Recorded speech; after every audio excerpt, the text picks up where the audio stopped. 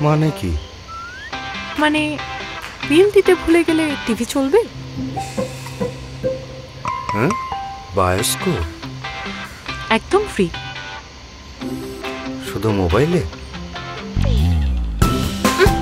টিভিতেও। যখন খুশি তখন।